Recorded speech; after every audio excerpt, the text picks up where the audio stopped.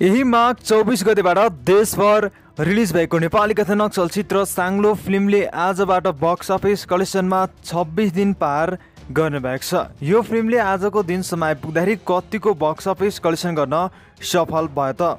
आज हामी उक्त कुराबारेमा केही चर्चा गर्न गइरहेका छौँ। भिडियोलाई पुरा हेरेर साथ दिनुहोला।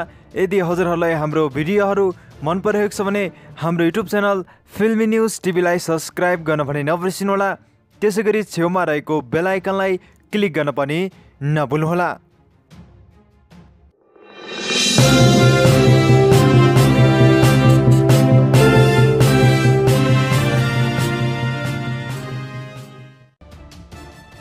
यही माघ चौबिस गतिबाट देशभर रिलिज भएको नेपाली कथानक चलचित्र साङ्लो फिल्मलाई दर्शकबिनहरूले एकदमै धेरै मन पराइराख्नु भएको छ।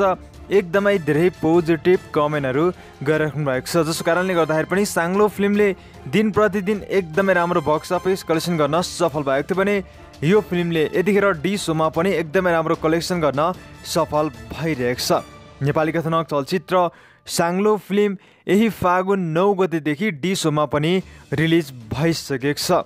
यदि हजुरहरू साङ्लो फिल्मलाई डी सोमा हेर्न चाहनुहुन्छ भने च्यानल नम्बर एट एट एटमा मात्र रु दुई सय रुपियाँ तिरेर हेर्न सक्नुहुन्छ।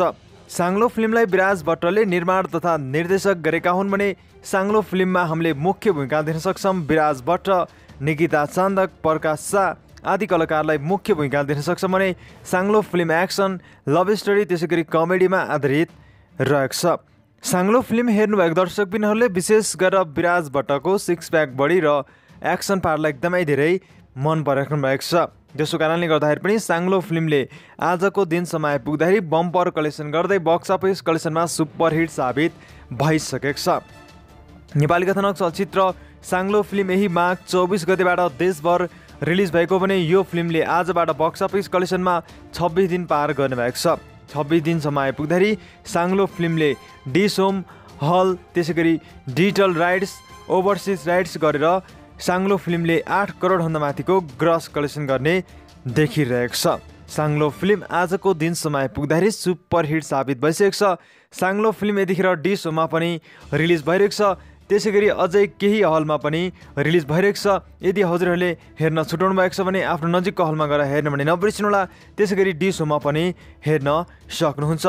हस् त्यति भन्दै म बिदा हुन चाहन्छु। यदि हजुरहरूलाई हाम्रो भिडियोहरू मन परेको छ भने हाम्रो युट्युब च्यानल फिल्मी न्युज टिभीलाई सब्सक्राइब गर्न भने नबिर्सिनुहोला। त्यसै गरी छेउमा रहेको बेलायकनलाई क्लिक गर्न पनि नबिर्सिनुहोला। हाम्रो युट्युब च्यानललाई हेर्दै गर्नुहोला लाइक गर्नुहोला सेयर गर्नुहोला कमेन्ट गर्नुहोला। हस् त धन्यवाद।